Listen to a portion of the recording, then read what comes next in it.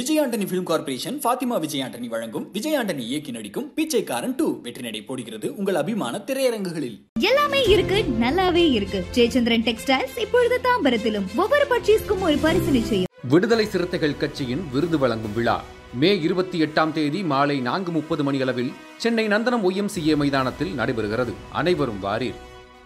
அன்னைக்கு கேட்டேன் தம்பி ரத்தீஷ் வீட்டில் கூட போட்டிருக்காங்கன்றாங்க. லைக்கா தம்பி சுபாஸ்கரன் நிறுவனத்து மேலே போட்டிருக்காங்க இன்னைக்கு செந்தில் பாலாஜி. நீ எத்தனை வீடு இருக்கோ எத்தனை வீடு இருக்குதோ நாட்கள் நெருங்க நெருங்க எல்லாரையும் மிரட்ட வேண்டியதுதான்.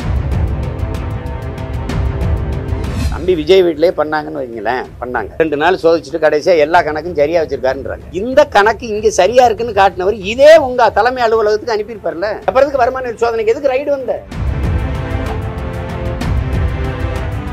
கோழிக்கு ஏறப்படும் போது அதனுடைய மொழியிலே பேசுவாங்க. ப- பக்குன்னு போடுவான் அவன் நம்மால் நினைச்சு நம்ம மொழியில பேசுறான்னு நினைச்சு கிட்ட வந்துடும் அடுத்து சட்டியில கொதிச்சுக்கிட்டு இவர் பேசுறது திருக்குறள் சொல்றது பாரதியார் பாட்டை சொல்றது தமிழ் மொழி தமிழ் மொழின்னு பேசுறதெல்லாம் மயங்கிற கூடாது விழிப்புணர்வோடு இருக்கணும். இல்லைன்னா சட்டியில சுக்காவா வறுத்துருவாங்கிறதா அது பொருள். செந்தில் பாலாஜி எந்த இதுவும் இல்லை. அவர் மேல எல்லாம் கணக்கு வழக்கு சரியா இருக்குன்னா அது சோதிக்க அனுமதிக்க வேண்டியது என்ன?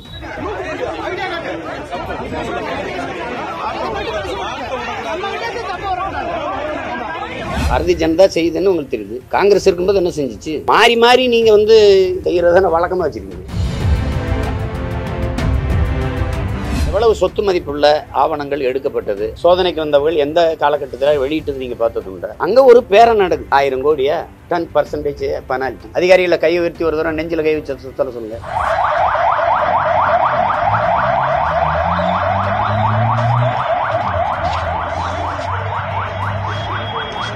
செங்கோலை கொண்டு எங்க வைக்கிறீங்க? என்ன எங்களுக்கு வந்துடும் இதுல? நம்ம பாட்டங்காலத்து செங்கோல்லாம் கிடையாது. குமிடி பங்காரில் தயாரித்த செங்கோல் அது. என்ன அது சோழர் செங்கோல் சொல்லலாம் முடி பங்காரு செங்கோல்னு வேணா சொல்லலாம்.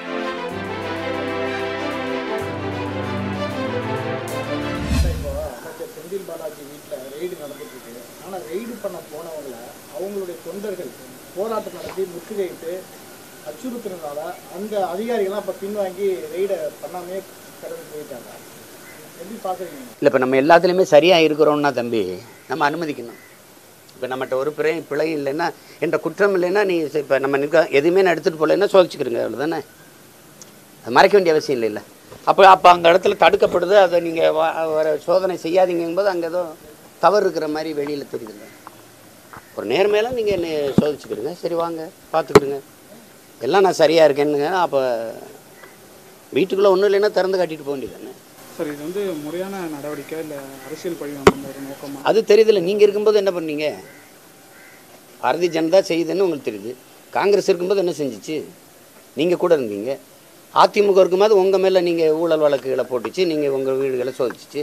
நீங்கள் வந்த உடனே வேலுமணிலேருந்து தங்கமணிலேருந்து எல்லார் வீடுகளையும் நீங்களே தானே செஞ்சீங்க?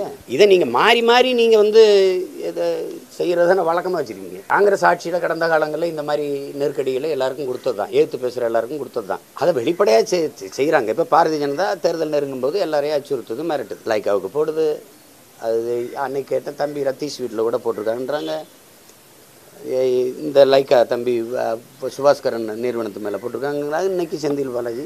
இன்னும் எத்தனை வீடு இருக்கோ எத்தனை இது இருக்குதோ. நாட்கள் நெருங்க நெருங்க எல்லாரையும் மிரட்ட வேண்டியதுதான். இப்போ வராங்க முற்றுகையிட்டு மிரட்டி அனுப்பிடுறாங்க. இது அவ்வளோதான் நான் பிரச்சனை அவ்வளோதான் முடிஞ்சிருக்கேன் என்ன பண்ணணும்? இந்த வருமான வரி சோதனைங்கிறத தம்பியில்கிட்ட நான் கேட்க விரும்புது அது மூலமாக நான் மக்கள்கிட்டையும் கேட்க விரும்புது வருமான வரி சோதனைங்கிறத வர்றதை சொல்கிறாங்க அங்கே என்ன சோதிக்கப்பட்டது? எவ்வளவு ஆவணங்கள் எடுக்கப்பட்டது? பணமாக எவ்வளவு தொகையாக எவ்வளவு எடுக்கப்பட்டது? எவ்வளவு சொத்து மதிப்புள்ள ஆவணங்கள் எடுக்கப்பட்டது? அதை யாராவது எந்த இந்த சோதனைக்கு வந்தவர்கள் எந்த காலகட்டத்தில் வெளியிட்டது நீங்கள் பார்த்ததுண்டா? அங்கே ஒரு பேரை நடக்குது. ஆயிரம் கோடியா? டென் பர்சன்டேஜ் பெனால்ட்டி எங்களுக்கு எவ்வளவு இது நடக்குதா இல்லையா? அதிகாரிகளை கை உயர்த்தி ஒரு தூரம் நெஞ்சில் கை வச்சு சொல்ல சொல்லுங்கள் ஏன்னா எனக்கு நெருக்கமான எல்லார் வீட்லையும் நீங்கள் சோதிச்சிருக்கீங்க. எல்லாருமே என்கிட்ட சொல்கிறது இதானே நடக்குதுன்ட்டு எங்களுக்கு எவ்வளவு இதுதான் வருமான வரி சோதனையா? பத்து விழுக்காடு. ஆயிரம் கோடியில் பத்து விழுக்காடு எவ்வளவு? அதை கட்டிட்டு மீதி நீ வச்சுக்கன்னா மகராசனை வச்சுட்டு போயிடுவானே இதில் சிக்கலே அமலாக்கத்துறை தான் சொல்கிறாங்க அவன் தான் ரொம்ப அது நீ ஐயாயிரம் கோடி வச்சுருக்க அதிபராக இருந்தால் கூட காலையில் உட்கார வச்சு சாயந்தரம் வந்து போய் நாளைக்கு வந்துடுவானா அதுக்கு தான் இவங்க பயப்படுறாங்க. அந்த ஈடிங்கிறது அந்த அமலாக்கத்துறைக்கு மட்டும்தான். மற்ற வருமான வரி சோதனை சும்மா கண் தான் இப்போ தம்பி விஜய் வீட்டிலே பண்ணாங்கன்னு வைங்களேன் பண்ணாங்க. ரெண்டு நாள் சோதிச்சுட்டு கடைசியாக எல்லா கணக்கும் சரியாக வச்சுருக்காருன்றாங்க. ஒரு கேள்வி கேட்குது இந்த கணக்கு இங்கே சரியாக இருக்குன்னு காட்டினவர் இதே உங்கள் தலைமை அலுவலகத்துக்கு அனுப்பியிருப்பார்ல? அங்கே இருக்கும்ல? அவர் சம் வ- உங்களுக்கு என்னவோ அந்த டாக்ஸ் கட்டின வரி கட்டின எல்லாத்தையுமே அவர் அங்கே உங்கள் தலைமை அலுவலகத்தில் இருக்கும்ல? அப்புறம் எதுக்கு வந்த? அப்புறம் எதுக்கு வருமான சோதனைக்கு எதுக்கு ரைடு வந்த? இங்கே காட்டினா அந்த அறிக்கையை அங்கே சமரிச்சு அங்கே தாக்கல் செஞ்சுருப்பாங்க அங்கே இருக்கும் தலைமை அலுவலகத்தில். அப்போ இந்த சோதனைங்கிறது அவசியமற்றது. சமூகத்தில் பொதுவெளியில் அவரை சே- ஒரு என்ன சொல்கிறது அவருக்கு ஒரு அவமானத்தை ஏற்படுத்தணும். நாங்கள் ரைடு பண்ணோம் ரைடு பண்ணோம் காட்டணும். அதுக்கப்புறம் நீ வெளியில் வந்து இல்லை எல்லாம் சரியாக இருக்குன்னு சரியாக இருக்குன்னு தெரியாமல் எதுக்கு அதிகாரியாக இருக்க நீ? இருக்காளேன்னு தெரியாமல் ஏன் வர்ற? அவர் வீட்டில் வந்து சரி பார்ப்பியா அப்போ அதுக்கப்புறம் அலுவலகம் வச்சுருக்க?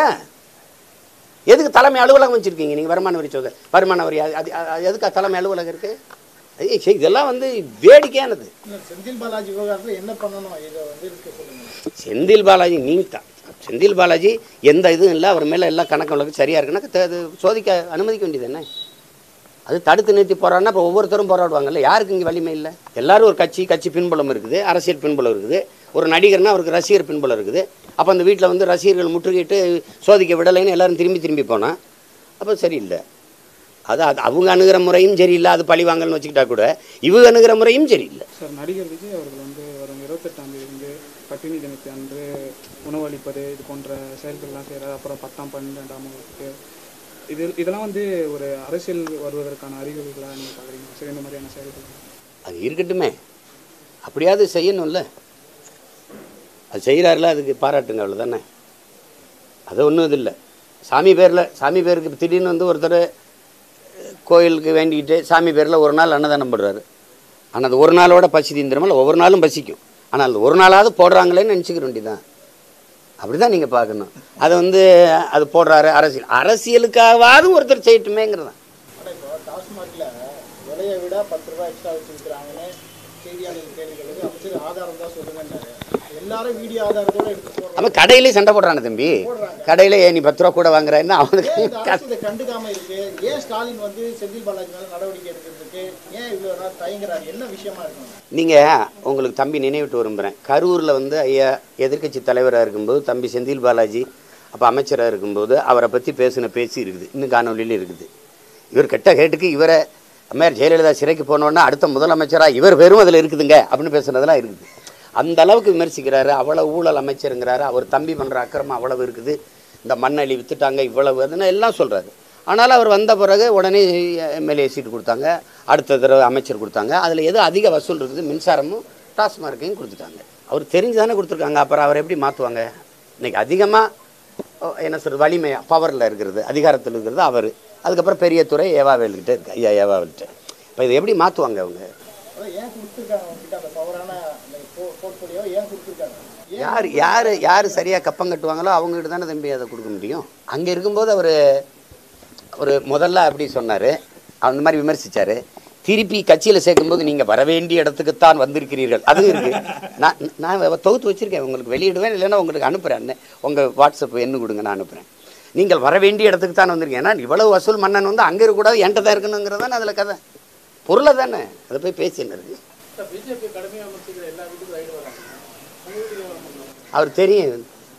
வந்தால் நம்ம தாண்டா அவனுக்கு காசு கொடுத்துட்டு போகிறோம் தேர்தல் ஆணையமே கேட்டுச்சு. எப்படா கட்சி நடத்துறீங்க? இதை வச்சுக்கிட்டு அப்படின்னு. எப்படியோ ஓடுதுங்க. சொல்லும்ல இந்த வண்டி எதில் ஓடுது? தெரியலங்க. இதை காற்றை குடிச்சிட்டு கூட ஓடுங்க. அப்படி ஓடும் அது அவ்வளோதான் அது திருவாடுதுறை சமாஜ் கட்சியில ஆதீனத்திலிருந்து நாடாளுமன்றத்துக்கு ஒரு செங்கல் வந்து சுதந்திரம் அணைஞ்சு பின்னு கொடுத்தாங்க அதை வந்து சோழர் காலத்து செங்கல்னு சொல்லிட்டு அபிப்பிராய சொன்னதும் அதை வந்து இந்தியா தம்பி கார்த்தி அந்த சொல்கிறது கேட்டு நம்ம பாட்டங்காலத்து செங்கோல்லாம் கிடையாது. குமிடி பங்காரில் தயாரித்த செங்கோல் அது. புரியுதா? என்ன அது சோழர் செங்கோல் சொல்லலாம் முடி பங்காரு செங்கோல்னு வேணால் சொல்லலாம். நேர்கையில் ஒரு செங்கோலை ஆதீனங்கள் கொடுத்தீங்க. அது விடுதலை பெற்ற போது கொடுத்தீங்க. அதை நீங்கள் இதே தான் சொல்லி கொடுத்தீங்க. நம்ம பாட்டை இந்த செங்கோலை வச்சு ஆட்சி நடத்தினாரு அதை விடு. சரி இந்த செங்கோலை கொடுத்து என்ன அதெல்லாம் தமிழுக்கு தமிழருக்கு தமிழர் நாட்டிற்கு என்ன பெருமை சேர்த்துட்டீங்க நீங்கள் நேர்காலத்தில் இப்போ இந்த செங்கலை கொண்டு எங்கே வைக்கிறீங்க? என்ன எங்களுக்கு வந்துருக்குது இதில் எங்கள் சோழர் காலத்தில் அவன் முடியாட்சியில் மக்க அவன் முடியாட்சியில் குடியாட்சி நடத்தினவன். குடவுளை முறையை கொண்டு வந்தவன் அது மக்களுக்கான அதிகாரங்களை கொடுத்தவன். நீங்கள் குடியாட்சியில் வந்து முடியாட்சி நடத்தி கொண்டிருக்கிறீங்க. உங்களை போய் நீங்கள் எதுக்கு அந்த செங்கல்? உங்களுக்கு கவனம் தமிழ்நாட்டில் எப்படியாவது அதிகாரத்தை பிடிக்கணும். அதுக்கு தமிழ் மொழி தான் உலகத்திலே மூத்த மொழி இந்திய மொழி ஆ பெருமைக்கணும் சரி ராஜா தேவாரம் பாடி கொடுத்தார்கள் செங்கோலைன்றீங்க. நான் மதிக்கிறேன். அவன் கட்டின கோயில்ல அதே தேவாரத்தை ஒரு தடவை பாட சொல்லுங்க. நான் ஒவ்வொரு நாளும் கூட பாட வேணாம். ஒரு தடவை பாட சொல்லுங்க. இதெல்லாம் கொடுமை இல்லையா தம்பி? என்ன தேவைன்னு நம்ம கேட்டுக்கிட்டு ரசிச்சுக்கிட்டு சிரிச்சுக்கிட்டு போயிட்டு இருக்க வேண்டியதான் லெலின்னு சொன்னது தான் இந்த கோழிக்கு ஏறப்படும்போது அதனுடைய மொழியிலே பேசுவாங்க. பக் பக் பக் பக் பக் பக்குன்னு போடுவான். அவன் நம்மால் நினச்சி நம்ம மொழியில் பேசுகிறான்னு நினச்சி கிட்ட வந்துடும் அடுத்து சட்டியில் கொதிச்சுக்கிட்டு இருக்கும். இவர் பேசுகிறது திருக்குறள் சொல்கிறது பாரதியார் பாட்டை சொல்கிறது தமிழ் மொழி தமிழ் மொழின்னு பேசுகிறதெல்லாம் மயங்கிடக்கூடாது. விழிப்புணர்வோடு இருக்கணும். இல்லைன்னா சட்டியில் சுக்காவாக வறுத்துருவாங்கங்கிறதா அது பொருள் அது. மொழி தமிழ் மொழி அப்படின்னு உரிமை உண்டாரு உலக அளவில் தமிழ் மொழி பற்றி பேசுறாரு ஒவ்வொரு இந்தியன் மொழினா எனக்கு என்ன அங்கீகாரம் மதிப்பு கொடுத்துருக்கு? சின்ன சின்ன நாடுகளில் பல மொழிகள் ஆட்சி மொழியாக இருக்குது உலகத்தின் மூத்த மொழின்னு சொல்கிறீங்க இந்திய மொழிகளின் தொன்மையை தமிழிலிருந்து அறியலாங்கிறீங்க. சரி அந்த மொழிக்கு ஏன் ஆட்சி மொழி அதிகாரம் அங்கீகாரம் கொடுக்கல? வழக்காடு மொழியாக ஏன் தரல? ஏன் வழிபாட்டு மொழியாக தரல? ஏன் பயிற்சி மொழியாக தரல? இப்போ தான் பாடமொழிக்கே வாரிங்க. அதெல்லாம் வந்து ஏமாற்று தம்பி. தேர்தல் வரும்போது பேசுகிறீங்க விழுந்து விழுந்து பேசுகிறீங்க தமிழ்நாட்டு மக்களின் உணர்வு எங்கே இருக்குன்னா மொழி இன உணர்வு மான உணர்வு பெருமை இதில் இருக்குது. அந்த வரலாற்று அடையாளங்களில். இவங்க எப்படின்னா உனக்கு அண்ணன் சுரங்கல் உயிரோட நீ சாகிற வரை அவனை வேடிக்கை பார்த்துருப்பான். செத்த வரை எலும்பு கூட பாடம் பண்ணி இந்த எலும்பு கூடு இருக்கிறதே இது எவ்வளோ பெரிய புகழ்பெற்ற ஒரு தலைவருடைய எலும்பு கூடு இந்த கை எவ்வளோ வேலை செஞ்சு இந்த வாய் என்னென்ன அப்படி பேசிட்டு இருக்கிற ஆளுகள் இவர்கள். இவ்வளவெல்லாம் விட்டுட்டு செங்கோலை தூக்கி கொண்டு வச்சுட்டு என்ன பண்ண போகிறேன் செங்கோ புதிய நாடாளுமன்ற திறப்பு விழாவில் குடியரசுத் தலைவர் வந்து அழைப்புதல் கொடுக்காம. அதை சீட்டு படிச்சுன்னா நீங்கள் பொறுப்பு இருப்பீங்களா? இதே பிரணாப் முகர்ஜினா விட்டுட்டு தரப்பீங்களா? இது ராம்நாத் கோவிந்த் இருந்தாலும் இதான் தங்கச்சி நடந்திருக்கும். நாங்கள் தீண்டத்தகாதவர்கள். நீங்கள் கட்டினது வந்து அதை விட இன்னும் மேலே போய் ஐயா குருமதீஸ்வரர் பாருங்க. மோடியும் தரக்கூடாது சங்கராச்சாரியாரும் திறக்கணும் அது கொஞ்சம் பெரிய மடம். அவ்வளோதான் அதில் போய் அது அது போய் போயிட்டு இது இருக்குது வந்து பல கட்சிகள்லாம் புறக்கணிக்கிறாங்க. இது இது சரியா அது சரிதான். இப்போ நம்ம பாரதிய ஜனதா கொண்டு வந்த திரௌபதி முர்முவை இவங்க ஆதரிக்கல. ஆனால் ஜனநாயகம் மாண்பு மரபுன்னு ஒன்று இருக்குது. மக்களாட்சியின் தலைவரே இல்லாமல் மக்களாட்சி மக்கள் அவையை திறக்கிறதுங்கிறது ஒரு அவமதிப்பு தானே? அது யாராக இருந்தால் என்ன? அதை வந்து அதை அவமதிக்கும் போது அதுக்கு குரல் எழுப்ப வேண்டியது ஜனநாயக கடமை. அதை எல்லா கட்சியும் செய்து நம்ம பாராட்டுறோம் அதை வரவேற்கிறோம். இப்போ கர்நாடகாவில் காங்கிரஸ் ஜெயிக்கணும்னு இங்கிருந்து தலைவர்கள்லாம் போய் அங்கே பிரச்சாரம் பண்ணாங்க. ஆனால் பதவியேற்பு விழாவுக்கு இங்கிருந்து போன முதல்வர் விடுதலை சிறுத்தை தலைவர் இவங்கெல்லாம் கூட அங்கே அவமரியாதை பண்ணப்பட்ட மாதிரி வீடியோக்கெல்லாம் வெளியாகி இருக்கு சரியான அவங்களுக்கு மரியாதை கொடுக்கலன்ற மாதிரி இருக்கு. இது எப்படி நீங்கள் பார்க்குறீங்க அது அண்ணன் சொல்லக்கூடாது. அவங்க தான் சொல்லட்டும். நான் ஏதாவது சொல்லி எனக்கு அவமானமாக இருக்குது அதில் நம்ம முதல்வரை வந்து ராகுலும் பிரியங்கா வந்து மறைச்சி பின்னுக்கு தள்ளினது. எங்கள் அண்ணன் திருமாவளவனை கதவுக்கு அங்கே நிறுத்துது. இதெல்லாம் வந்து அவமானமாக தான் இருக்குது. இதை விட கொடுமை எங்கள் அண்ணன் பொன் ராதாகிருஷ்ணன் அந்த கட்சியில் இருக்கார் இணையமைச்சராக இருக்கார் வெங்காய நாடு துணை குடியரசுத் தலைவரை தேர்வு செய்யும்போது இவர் கொண்டு இதை இந்த துண்டு கொடுக்குறாரு. துண்டு கொடுக்குறாரு. சால்வை துண்டு. இதுவரை நீங்கள் அந்த காணொலியை பாருங்கள் இப்படி இப்படி இடது இப்படி தள்ளி விடுறாரு. நான் திட்டினேன்.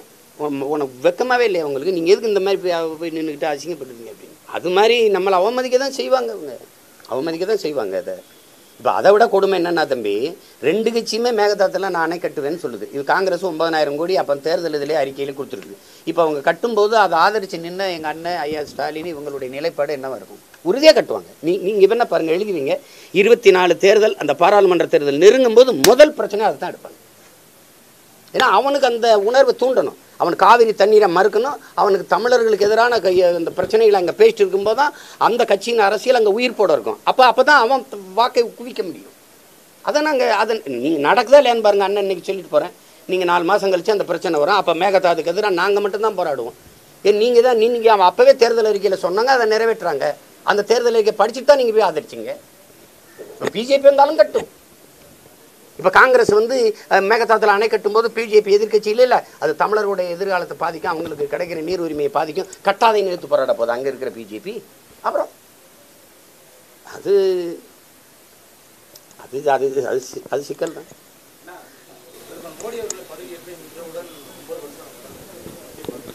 ஒம்பது வருஷம் ஆயிடுச்சு. அது இந்த நாட்டு மக்களுக்கு நம்ம ஒவ்வொருத்தருக்கும் நம்ம வந்து பாராட்டுறோம். அவங்கள வந்து நம்ம கொண்டாடுறோம். ஏன்னா இவ்வளவு பொறுமையும் சகிப்புத்தன்மையும் கொண்ட ஒரு நாட்டு மக்களாக நம்ம இருக்கிறது பெருமைக்குரியது தான். இன்னும் ஓராண்டு இருக்குது ஓராண்டு இல்லைன்னு ஒரு ஆறு மாதம் இருக்குது அதுக்கப்புறம் தேர்தல் காய்ச்சல் வந்துடும் அதோட இன்னும் ஒரு முறை பாரதிய ஜனதா கையில் ஆட்சி போகாமல் பார்க்க வேண்டியது இந்த நாட்டின் குடிமக்கள் ஒவ்வொருத்தருடைய கடமை.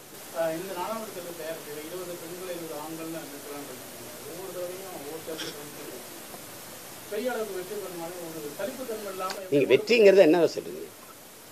வெற்றிங்கிறத என்னவா சொல்றீங்க தம்பி? நேரு சொன்னதுதான். முதல்ல அவர் பிரதமர் ஆயிட்டு பேசின உரை இருக்கு. அதுக்கு முன்னாடி அவர் பேசின உரை. என்றோ ஒரு நாள் தோக்கப் போகிற ஒரு கோட்பாட்டை ஏற்று அதன் வெற்றிக்கு இன்று நான் போராடுவதை விட பாடுவதை விட என்றோது ஒரு நாள் ஜெயிக்கப் போகிற ஒரு கோட்பாட்டை ஏற்று அதற்காக போராடி நான் தோற்று போவதையே நான் மேன்மையாக கருதுகிறேன். அதான் என் கோட்பாடு. அது வந்து என்னை போன்ற பிள்ளைகளுக்கு அவர் பேசினது தான் நான் கருதுறேன். தான் இருக்காது. ஆமாம் நீங்கள் இன்னும் இந்த இந்த தேர்தலையும் பாருங்க வளருவோம். அது வந்து வள ஒரு ஒரு ஒரு மரம் வந்து தம்பி மற்ற கட்சிகள்லாம் உங்களை வந்து எப்படி எப்படி எப்படி அங்கீகரிப்பாங்க? காசு இருந்தால் தான் வாக்கு வாங்கி வெல்ல முடியும்னு வரும்போது இந்த கட்சி இந்த கட்சியில் போனால் தான் அவங்க வாக்குக்கு காசு கொடுத்து நம்மளை வெல்ல வைப்பாங்க. ஆறு சீட்டு கொடுக்குறாங்க ஒரு நாலு எம்எல்ஏவாவது வர முடியும் சட்டமன்ற உறுப்பினர். ரெண்டு சீட்னா ரெண்டு சீட்டு நாலு சீட்டு கொடுத்தா ரெண்டு மூணு பாராளுமன்ற உறுப்பினர் தான் வர முடியுது. அப்படின்னு இருக்கும்போது இந்த மாதிரி போராடுகிற கட்சியோட வரமாட்டாங்க. ஏன்னா அவங்க போராடி தோத்தவர்கள். எனக்கு முன்னாடி இருக்கிற எல்லாருமே எங்கள் ஐயாவிலேருந்து எங்கள் அண்ணன் திருமாவளவன்லேருந்து அண்ணன் வைகோலேருந்து ஐயா விஜயகாந்த்லேருந்து எல்லாருமே அந்த கட்சிகள் தனிச்சு நின்று தோற்று போனோம் எனக்கு அதை படிப்பினை நான் எடுத்து வச்சிருக்கேன். நான் தற்காலிக வெ- வெற்றிக்காக நிரந்தர தோல்வியை சந்திக்க தயாரில்லை. நான் தற்காலிக தோல்விக்காக எதிர்காலத்தில் இருக்க நிரந்தரமான வெற்றியை இழக்க தயாரில்லை. அதனால நாங்கள் நின்று போராடுறோம். அப்போ ஒருத்தனாவது நிற்கிறேனேன்னு நீங்கள் பார்க்கணும். நீங்கள் மாற்று மாற்று யாருமே இல்லை யாருமே இல்லைன்னு. யாராவது ஒருத்தர் நிற்கணுமா நான் நிற்கிறேன்ல அதுக்கு நீங்கள் நீங்கள் என்னை பெருமையாக பேசணும் கொண்டாட வேணாம். நிற்கிறாயா ஏன் ஒருத்தன் நினச்சிட்டு போங்க. நீங்கள் எதுக்கு போய் வருத்தப்பட்டுக்கிட்டு இருக்கீங்க? அது வந்து அது வரும்.